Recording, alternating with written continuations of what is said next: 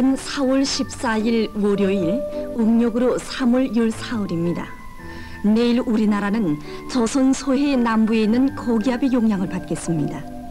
평양시 남소풍이 3m 내지 6m로 불고 주로 개기했습니다. 오늘 낮 제일 높은 기온은 17도로서 평년보다 1도 높았습니다. 내일 아침 제일 낮은 기온은 6도 정도, 내일 낮 제일 높은 기온은 22도 정도겠습니다.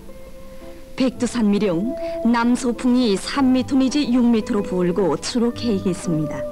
해산시 남소풍이 4m 내지 7m로 불고 주로 개이겠습니다. 강계시도 남소풍이 4m 내지 7m로 불고 주로 개이겠습니다.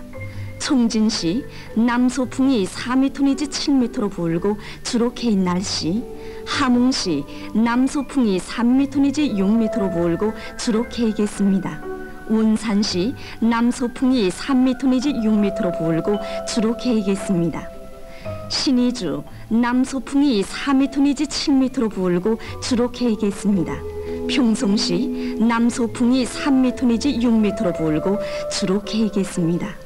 사리온시도 남소풍이 3m 내지 6m로 불고 주로 개인 날씨 해주시 남소풍이 4m 내지 7m로 불고 주로 개이겠습니다.